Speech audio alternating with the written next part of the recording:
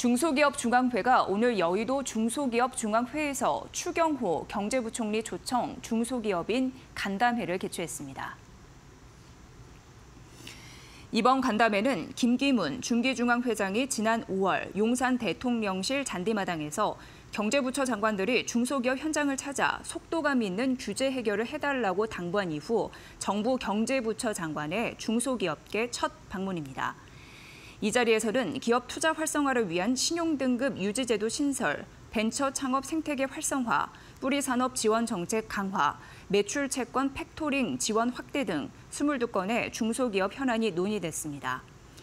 김기문 중기중앙 회장은 계획적 사전 승계를 위해 연부 연납 기간 확대와 업종 변경 제한 폐지 등 추가 보완책이 꼭 필요하다고 강조했습니다.